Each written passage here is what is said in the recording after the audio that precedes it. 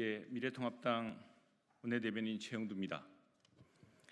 오늘 이제 결산국회가 어, 3일 어, 이제 3일째고 내일 경제 분야 비경 아, 비경제 분야 아, 질의가 끝나고 나면은 결산 2019년 결산이 끝납니다. 결산 회의가 끝나고요. 내일부터는 이제 정기 국회가 시작됩니다. 2019년 결산 해 보니 일자리 예산은 헛돈이었고 5년 단임 정부가 대한민국 재정을 거들내고 있었다.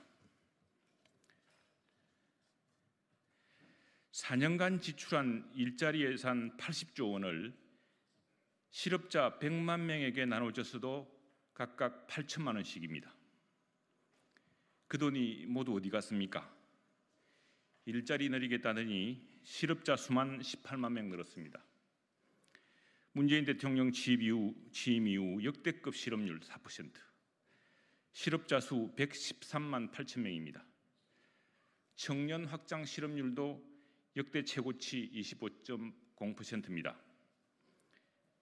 차라리 그 돈을 잘 아꼈더라면 코로나 위기에 생계를 잃은 국민들을 도와줄 수 있을 것입니다. 3년간 일자리 안정 자금을 5조 4천억 원 퍼붓고도 기업당 일자리 증가 효과는 0.036명입니다.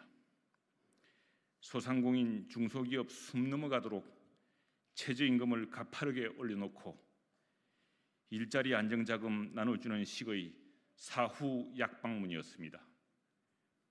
구직급여도 5년간 두 배 증가했지만 재취업률은 6.1% 하락했습니다.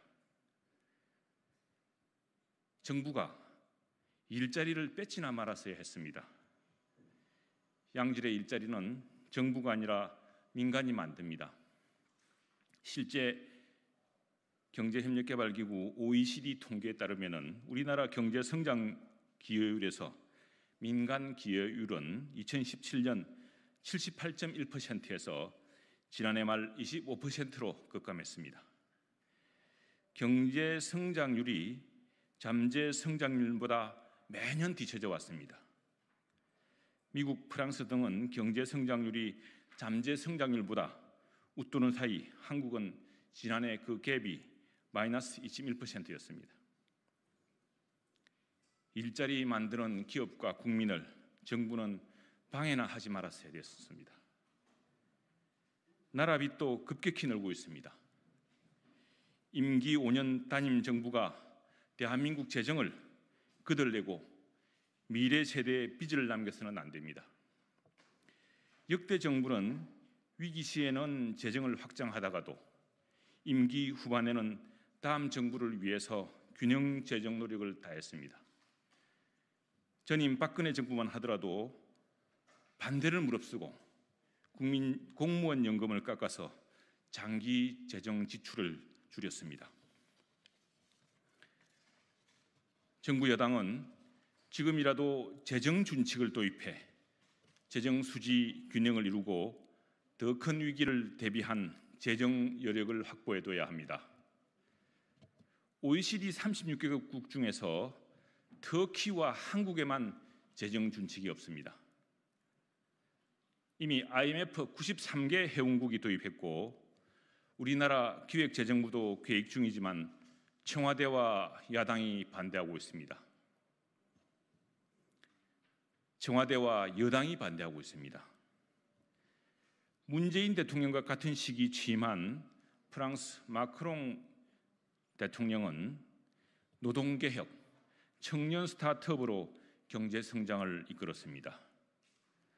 유럽의 경제 우등생 독일은 평소에 쌓아두었던 재정 건전성을 바탕으로 코로나 위기에서 현금 살포 대신에 세금 감면을 택해 경기를 부양했습니다.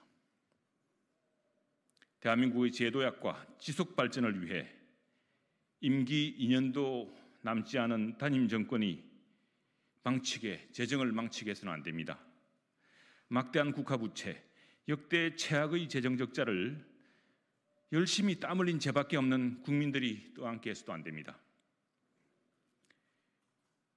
미래통합당은 내일부터 시작될 2020년 정기국회에서 정부의 잘못된 경제정책을 바로잡고 국민과 기업의 활력을 되살려 경제 위기 극복과 대한민국 제도약을 위해 최선을 다할 것입니다.